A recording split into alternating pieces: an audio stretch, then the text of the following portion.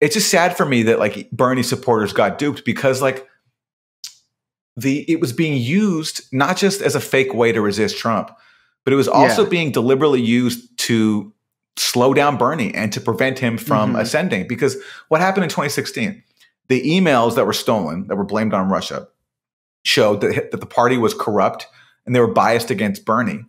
And then that same wing lost. So like they were done. This was the perfect opportunity for Bernie and his movement to ascend and to like present like a genuine working class um, candidate, you know, w- versus Yeah. Trump, who was a fake working class candidate. He claimed to be there for the working people, but of course that was a scam. So this was Bernie's moment, and he had no more reason to protect the Clinton wing because, like, a they lost, and b they tried to sabotage him.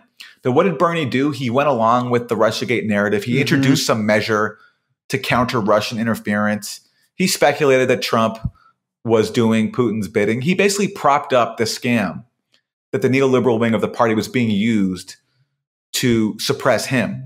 And of course, what did that earn him on the eve of the Nevada caucus in 2020 when Yep. like, he was doing well? They Russiagated Bernie.